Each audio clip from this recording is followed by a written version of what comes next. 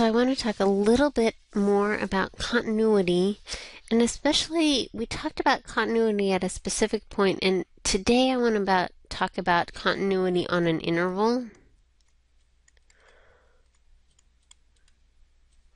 So let's go ahead and do that. So on an interval, we say a function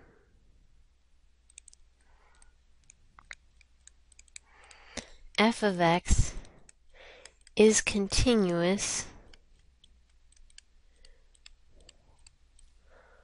On an open interval.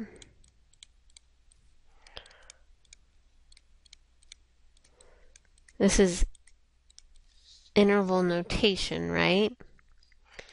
If it is continuous,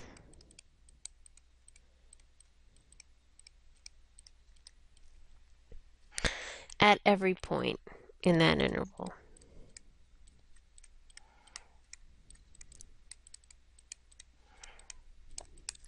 So every point between A and B, if the function's continuous there, then it's continuous, we say, on this whole open interval. Okay? Um, okay, so I'm going to go ahead and talk about a couple of specific functions where this is true and where we have continuity over a large um, swath of the real line. So remember, I want to remember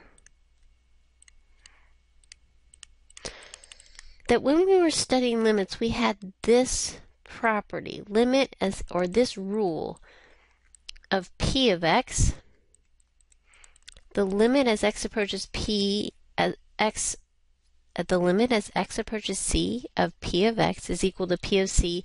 And this was when p of x is a polynomial, right? This basically meets our definition or is a result of continuity, right? So for continuity, I need p of c to be defined. That's true for polynomials. Um, polynomials are defined on the entire real line. Um, I need uh, the limit to exist. That's true. I know exactly how to find it. Just plug in C. And I need this equality, right? These two things to be equal. That means the function is continuous.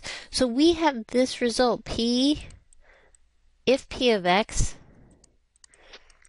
is a polynomial,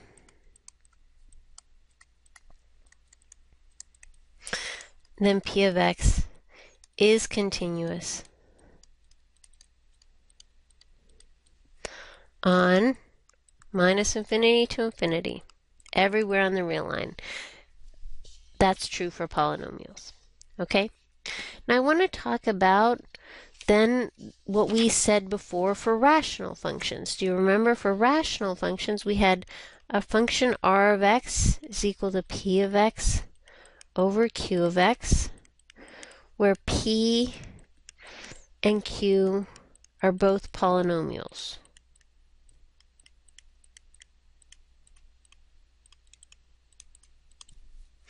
And for this, uh, for rational functions, we have the limit as x approaches c of r of x is equal to r of c which is P of C over Q of C, when Q of C is not equal to zero, right? That I have this, again, this same sort of thing is happening in the polynomial realm. Here, where the rational function is defined, this is defined, right? This is the two-sided limit exists.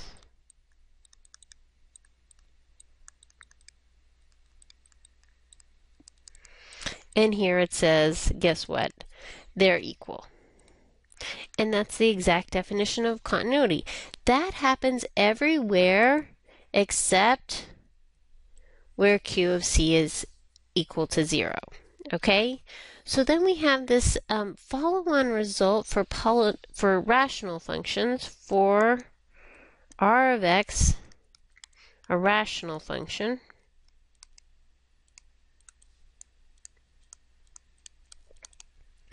is continuous. Um, everywhere. It is defined, meaning if I'm using the other place, uh, this other notation everywhere that q of x is not equal to 0, or q of c maybe is not equal to 0. So I get rid of these c values just like we did for the domain and find out where it's continuous. Let's look at an example of that one. I just want to do that in more specific detail. Polynomials are pretty straightforward. So I want to discuss the continuity